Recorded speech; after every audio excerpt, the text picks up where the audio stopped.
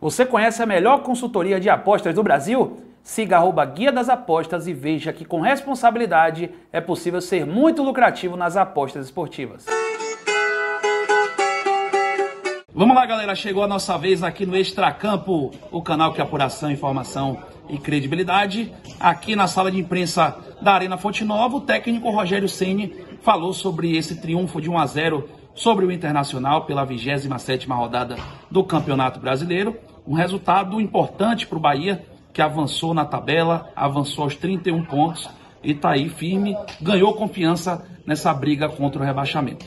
Treinador tricolor valorizou a atuação da sua equipe e também destacou a atuação do Everaldo. Camisa 9 do Bahia não fez gol, mas para ele o jogador foi o melhor dentro de campo. Vamos dar uma olhada no que o comandante tricolor falou, mas antes eu peço a você que curta o nosso vídeo, compartilhe com os amigos, ative o sininho. Vamos juntos fazer o extracampo cada vez mais forte. Fala, Rogério. Primeiro, eu acho que ele fez um jogo melhor hoje do que no último. A diferença é que, logicamente, o gol é muito importante e a gente nunca vai três gols ainda no jogo você e uma assistência, né?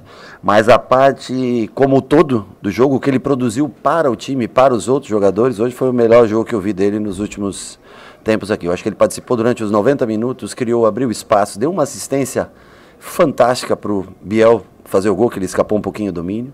Então a gente fica muito feliz com a participação dele. Eu acho que a responsabilidade da recuperação dele está nele mesmo. Não acreditar, a gente passa confiança, mas ele é um jogador que tem é, tem gol, como foi no último jogo, e eu acho que também a aproximação hoje de Biel um pouco mais por dentro, de Cauli um pouco mais por dentro, fazem com que ele tenha mais parceria de jogo combinado. E eu, eu acho que se destaca um pouco mais a qualidade dele. Então fez um, apesar de não fazer gols, para mim, é, no todo, ele foi mais importante hoje é, como participação do que no último jogo. No último jogo ele fez os gols e uma assistência. O que ele tocou, ele fez gol.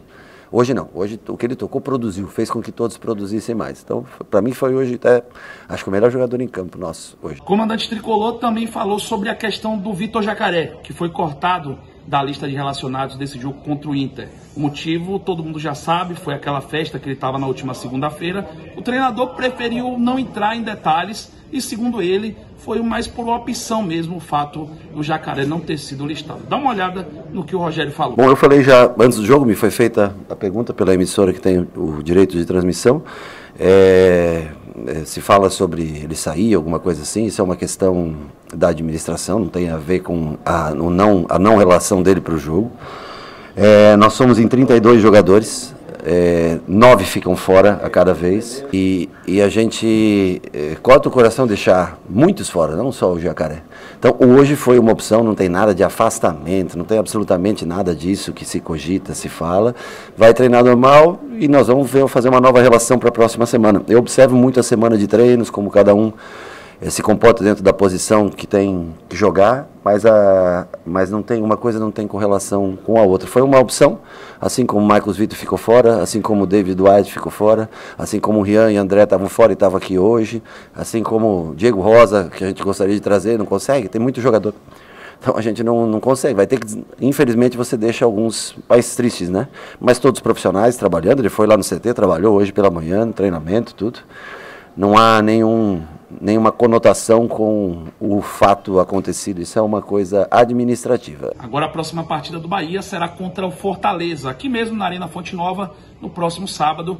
O treinador fez uma projeção desse duelo. Bom, eu do time que eu trabalhei, acho que só o Tinga praticamente está lá, né? Então, o que a gente tem é um respeito muito grande, um, um clube que foi importante na minha história. Eu também acho que tenho né, coisas positivas que foi deixado lá.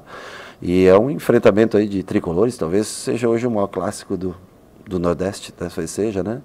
E sempre com respeito, mas eu não consigo, eu não tenho mais, é, o, o, o, time que eu criei, ele já se transformou, hoje é o Voivoda que, que toca Fortaleza, e nós vamos estudar bastante Fortaleza hoje à noite ainda, essa madrugada, e amanhã para a gente colocar em prática até as três e meia da tarde no horário do treino, características de jogo que tem o Fortaleza para a gente inserir no nosso jogo. E aí, no, dá um toque final na sexta-feira, nós vamos concentrar um pouquinho mais cedo na sexta para poder descansar os jogadores. Não vamos apresentar só na hora do almoço, vamos descansar mais cedo, porque o intervalo é muito curto, né? E nós precisamos de todo mundo que tenha fo foco, principalmente no Bahia. Né? O foco tem que estar direcionado para o Bahia, não para si mesmo. E, E aí nós vamos tentar bater uma equipe difícil. Eu não vi o Fortaleza jogar hoje, porque foi no mesmo horário do nosso jogo. A gente já conhece um pouco, eu já vi e fiz um resumo. Os meninos da análise de desempenho já me entregaram um resumo sobre Fortaleza. E nós vamos tentar, dentro das características de jogo, competir contra uma equipe que é, chegou à final da Sul-Americana por ser muito bem treinada e altamente competitiva. Tá aí, galera, um resumo do que o Rogério Ceni falou hoje. O Bahia tem esse desafio contra o Leão do PC na Arena Fonte Nova. E aí, pessoal, o que, é que vocês acharam dessas palavras do Rogério Ceni? Concorda com a análise dele? E aí, será que dá para emendar mais um triunfo contra o Fortaleza? Deixe a sua opinião, deixe seu comentário, participe, faça parte do debate aqui no Extracampo. Aquele abraço, pessoal, e até o próximo vídeo.